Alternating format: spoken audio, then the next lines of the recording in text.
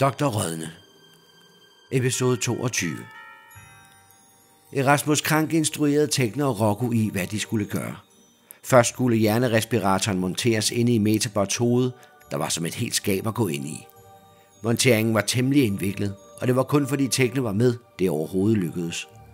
Derpå afmonterede de alle kablerne fra de omkringstående maskiner, og til sidst skulle Gilgatomkernen fra reaktoren flyttes over i Metabot, der havde sin egen reaktor i ryggen. Og det var netop, da de slukkede reaktoren og skulle trække gigatomstangen ud, at de hørte Dr. Rødne og hans hekse kæmpe for at bryde den første dør ned.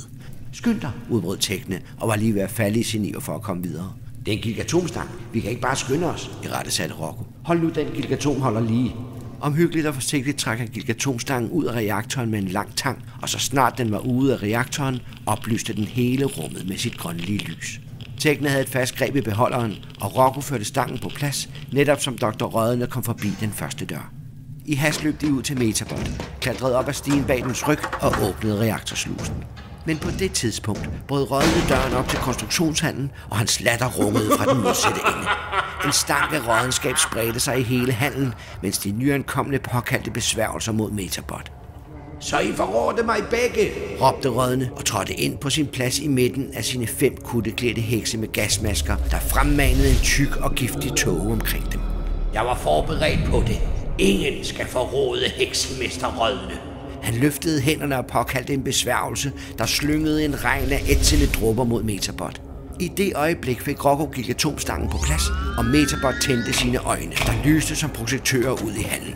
Så rumsterede den og rejste sig i al sin vælde.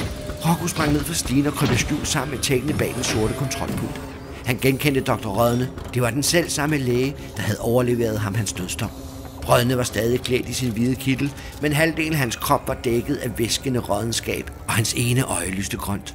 To hekse trak granater med blinkende lamper og kastede dem mod Metabot, der besvarede dem med en salve fra maskinkanonen. Men som skuddet hamrede, hævede Dr. Rødne armene og dannede en beskyttende sfære af den tykke røg, der rekurserede maskingeværskuglerne, som var den en stålvæg. Metabot trådte et skridt frem og rullede maskingeværene frem på underarmene, men i samme øjeblik sprang heksene til alle sider, mens rødne påkaldte en stinkende materiedæmon med væskende bylder og usædvanligt dårlig ånde.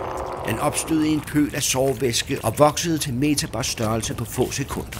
Bylder skød ud over alt på dens krop. De voksede og skvulpede til de bræst, så byllesov sprøjtede og flødede af den. Ved alle belæge forbandelser, udbrød Rocco og trak sig helt ind bag kontrolpulten. Hvad er det for en hæslig abnormitet? Det ligner en dæmon. Ligner? Jeg er bange for, at det mere end ligner. Hvad gør vi? Kampen larmede i hallen. Smitsomme besværgelser blandede sig med metalliske lyde af mekaniske våben. Vi kan ikke gøre noget. De er for mægtige. Rocco så sig omkring. Køb hen til hjørnet af kontrolpulten og lurede frem. Metabot stod midt i hallen og skød ud til alle sider, mens dens enorme hænder havde fast greb i sygdomsdæmonen. Men i samme øjeblik brækkede sig ud over det, så gnister stod ud til alle sider, og metallet begyndte at ætse. Bag den kunne han lige ane rødne og heksene, der dansede i galskab for at fremmane endnu en dæmon. Vi må stoppe dem, væsede Rocco så og. Hun rystede på hovedet, men han tog hendes hånd og trak hende med sig fra kontrolpult til kontrolpult, til de nåede den venstre væg. Hvad har du tænkt dig? viskede Tekne.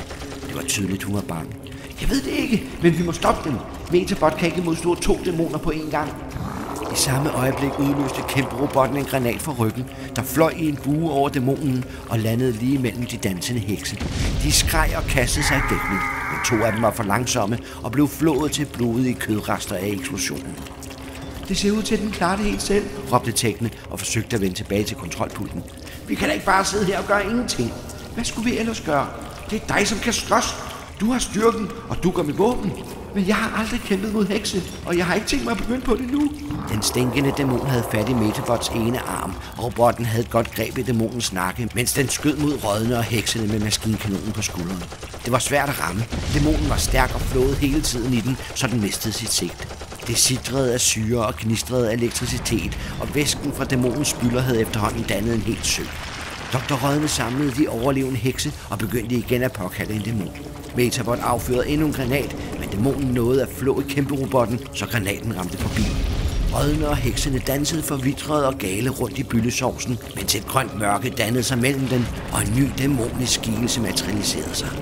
Byllesovsen, råbte Rocco og sprang tilbage til det afmonterede kabel. Han greb et af dem og slæbte det med tilbage til tækken. Hvad vil du med det kabel? hissede Tekne. Han rakte Tekne den ene ind. Du løber til Byllesøen og smider kablet ned i væsken. Jeg løber til Metabot og forbinder min ende til en strømudledning på robotten. Nu gik det op for Tekne, hvad Rokkos plan var. Du vil riste heksene ved strømmen fra gigatomet. Rocco svarede ikke, men løb ind over gulvet i den enorme konstruktionshal med Tekne lige efter sig. Men dæmonen fik øje på dem og spyttede en slimet klat med dem. De sprang i hver deres retning og undgik med nød og næppe den smitsomme klat.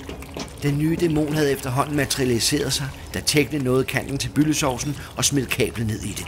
Hun vendte sig for at se, hvor langt Rocco var kommet, men blev i samme øjeblik opdaget af røddene, der tog en dyb indånding og pustede en sværm af virusånder mod hende.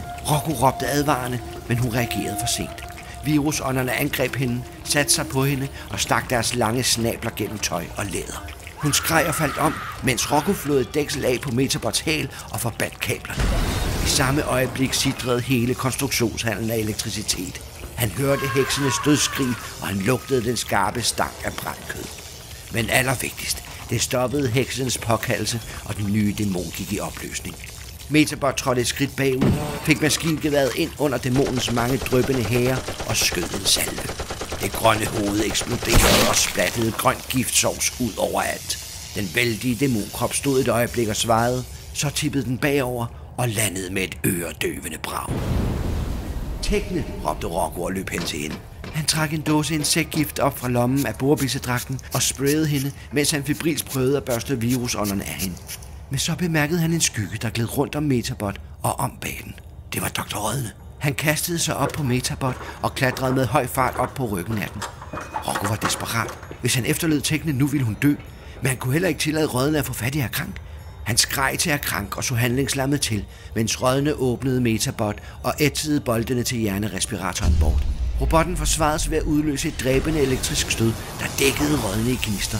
Han skreg, men det lykkedes ham at kaste hjernerespiratoren ned på metalgulvet, hvor den knustes, og den værdifulde hjerne blev kvæst til uigenkendelighed.